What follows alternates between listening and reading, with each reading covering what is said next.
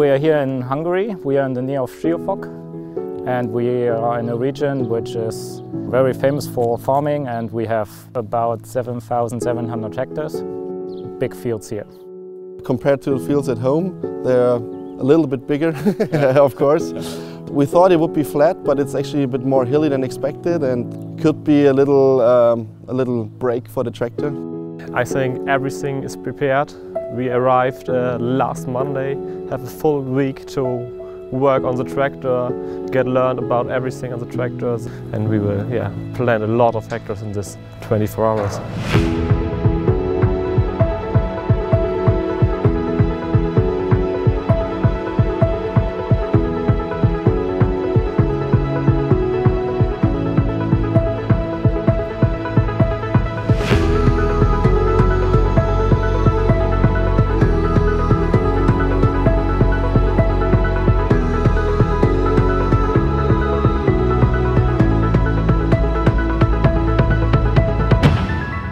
Will the tempo make it?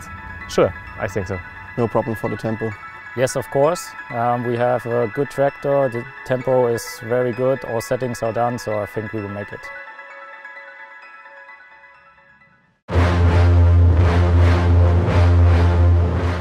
Today we are setting a world record in uh, planting maize for 24 hours and doing as many hectares as possible in those 24 hours.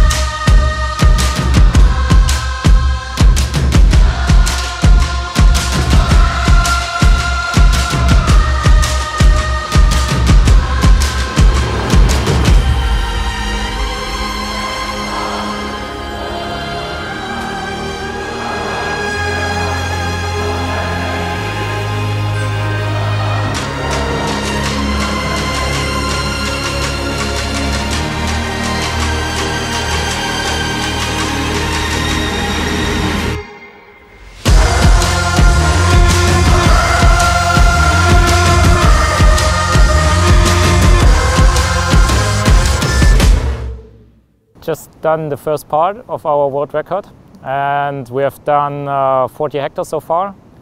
And uh, think that the average speed is now about 20 21 kilometers per hour.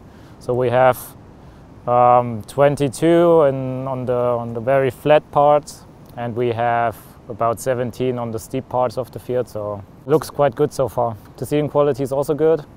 We have an average at 99 percent